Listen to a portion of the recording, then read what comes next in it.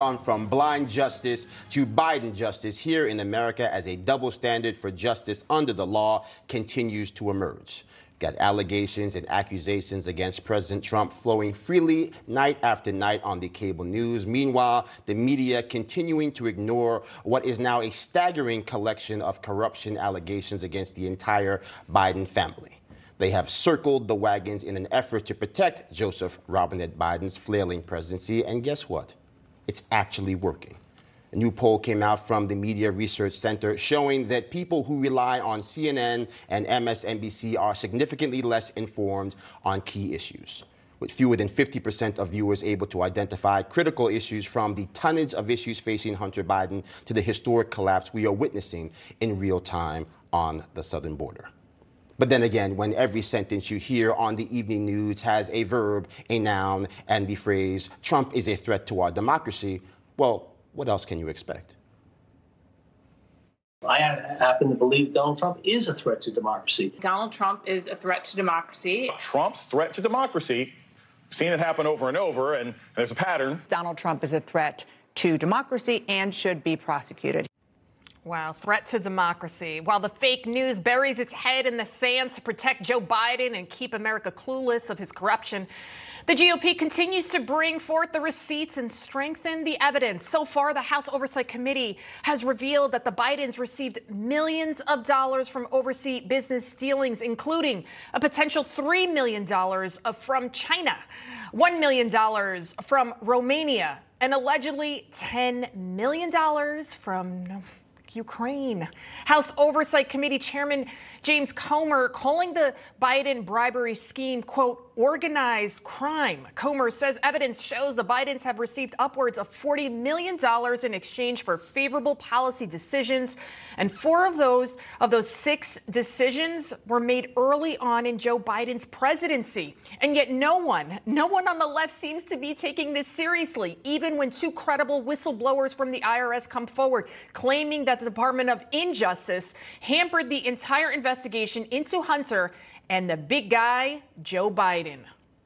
There were certain investigative steps that we weren't allowed to take that could have led us to President Biden. If this was any other person, they likely would have already served their sentence. And that same whistleblower, Gary Shapley, told the House Ways and Means Committee in May that Delaware U.S. Attorney David Weiss sought to bring federal charges against Hunter, but he was denied by two Biden appointed U.S. attorneys. Shapley also told the panel that Weiss sought to be appointed special counsel in the case at least twice, but, but again, he was denied by guess who? The Injustice Department, all of which directly contradicts what the head of the DOJ, Attorney General Merrick Garland, promised about the investigation earlier this year. This attorney in Delaware has been uh, advised that he has full authority uh, to, to make those kind of uh, referrals that you're talking about or to bring cases in other jurisdictions if he feels it's necessary. And I will assure that if he does, uh, he will be able to do that. Uh, I have promised to ensure that he's able to carry out uh, his investigation and that he be able to run it. And if he uh, uh, needs to bring it in another jurisdiction, he will have full authority to do that. Well, Weiss broke his silence on the matter late Friday night, sending a letter to the House Judiciary Committee claiming he can't speak about an active investigation and that he does have charging authority in the case, mostly anyway. His letter reads, a quote, my charge and authority is geographically limited to my home district. If venue for a case lies elsewhere, common departmental practice is to contact, contact the U.S. State's Attorney's Office for the district in question and determine whether it uh, wants to partner on the case.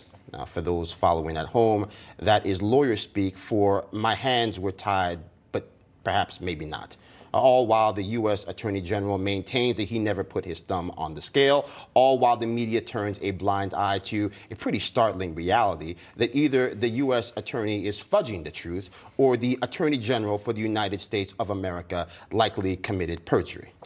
Instead, they continue to press the case against President Trump in the court of public opinion 24 hours a day, seven days a week. And while the economy is slumping, the border is overrun. But if they can't find a negative opinion about President Trump for their lead story, then the world will come tumbling down. Here's a listen. Is it plausible Trump was showing classified documents to people in private meetings? The short answer is yes. I watched him show uh, documents to people at Mar-a-Lago on the uh, the dining room patio. So he has no respect for classified information. Never did. Unbelievable. It's no wonder that CNN and MSDNC viewers are so uninformed about what's really going on with Biden at the helm.